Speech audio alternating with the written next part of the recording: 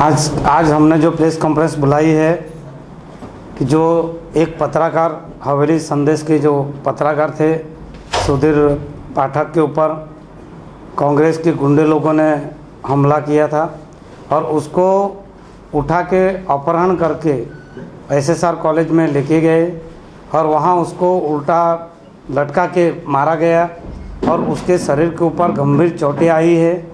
और उसको इतना मारा है कि उसको जान का भी जोखम है। कि जो उसको उसको इसलिए मारा गया कि उसने हवेली संदेश में कुछ कांग्रेस के बारे में कुछ लिखा था, विकास के बारे में लिखा था कि यहाँ विकास जो हो रहा है अच्छा हो रहा है तो उनको विकास की बातें पसंद नहीं थी। और वो सुधीर पाठक जो है वो खुद एक युवा दल करके फेसबुक चलाते हैं। तो फेसबुक पे कुछ तो स्वतंत्र है। फेसबुक पे तो कोई भी आदमी कुछ भी लिख सकता है।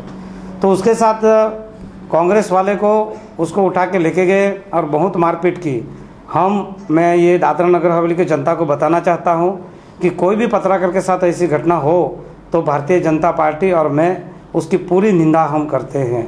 और आज मैंने एसपी से भी मिला और पुलिस प्रशासन को भी कहा गया है कि अगर उसके पे पूरी कार्यवाही होनी चाहिए कोई भी आदमी हो जो भी गुनहगार हो, उसको पकड़ के अरेस्ट करना चाहिए। और मैंने आज प्रेस कॉन्फ्रेंस इसीलिए बुलाई कि काउंसिल ऑफ़ इंडिया की जो प्रेस की जो क्लब है इंडिया की हिंदुस्तान की, वहाँ भी उसकी कंप्लेंट की जाए कि उसको न्याय मिले।